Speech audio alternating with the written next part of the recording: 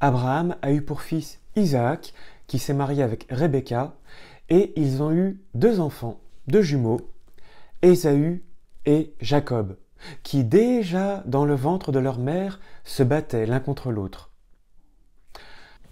Lorsqu'Isaac devient vieux, il doit donner la bénédiction au fils aîné, c'est-à-dire Ésaü, mais Jacob, aidé par sa propre mère, arrivera à obtenir la bénédiction d'Isaac par ruse.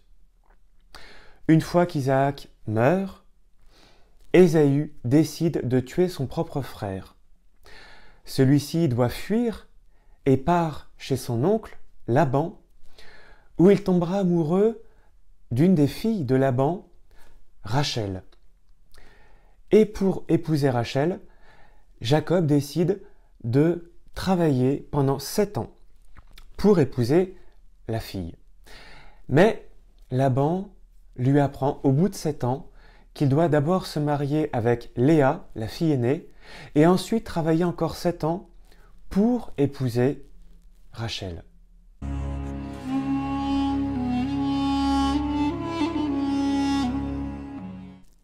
Une des grandes représentations de Jacob est son combat contre l'ange. Jacob décide de retourner voir son frère Ésaü après un grand nombre d'années pour vivre une réconciliation. Cette confrontation est angoissante pour lui.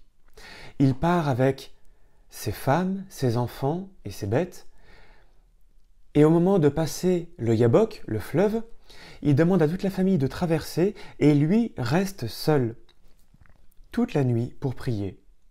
Et durant cette nuit, il est attaqué par un homme. Et plus tard, on apprendra que c'est l'ange du Seigneur avec qui il se battra jusqu'au lever du matin. Pourquoi? Eh bien pour demander la bénédiction de Dieu. Après avoir obtenu la bénédiction par ruse, Jacob doit obtenir la bénédiction en combattant, à main nue. Et Jacob se retrouvera frappé, blessé à la hanche, mais béni par l'Éternel, et c'est là qu'il recevra son nom, Israël. Israël, c'est d'abord le nom donné à Jacob, et ça veut dire qui est fort contre Dieu, qui a lutté contre Dieu.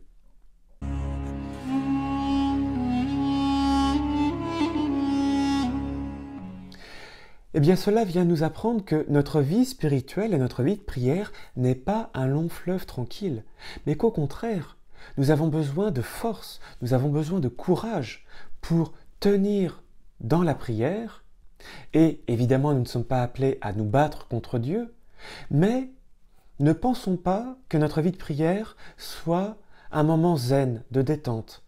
Notre vie de prière peut être aussi parfois laborieuse et nous demander courage et force.